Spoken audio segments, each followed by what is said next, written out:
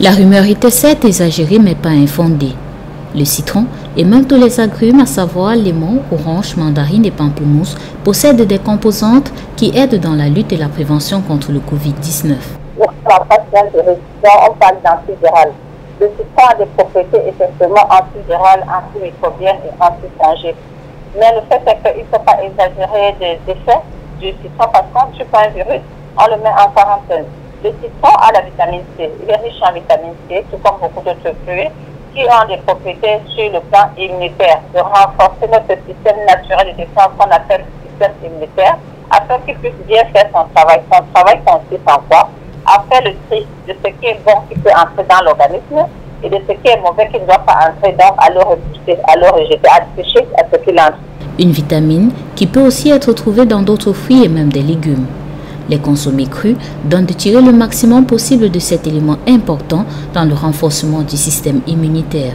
Les goyaves, les papayes, les ananas, même certains légumes, les persils par exemple, euh, les poivrons aussi les choux, tout type de choux hein, vous pouvez rencontrer sont riches. Mais il faut retenir aussi que euh, cette vitamine est sensible à la chaleur. Donc, si on expose pendant longtemps ces aliments à la chaleur, la quantité de vitamine C sera réduite à l'intérieur peuvent aussi être mis à contribution dans ce désir de fortification les aliments fermentés, à l'exemple du yaourt et des vinaigres, mais en plus les éléments contenant du zinc. Il faut également consommer euh, les aliments riches en zinc, les viandes rouges, mais aussi les haricots, les pistaches, les soja, les noix, les noisettes, pour renforcer également notre système immunitaire, surtout quand on a 50 ans pour avoir assez de zinc. Il est important de consommer en quantité des aliments sources d'énergie tels des féculents, macabo, manioc et de suspendre pour cette période des régimes amincissants.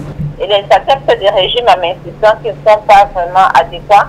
Je veux suspendre un peu euh, les régimes amincissants parce que quelque part, ça crée un certain stress au corps. Agiliser un peu le corps. L'heure est à regrouper les, les, les forces pour pouvoir renforcer nos soldats naturels Le secret de la prévention du Covid-19 se trouvant dans son plat, il est plus que jamais important en cette période de crise sanitaire d'avoir une alimentation équilibrée, principalement constituée de fruits et de légumes.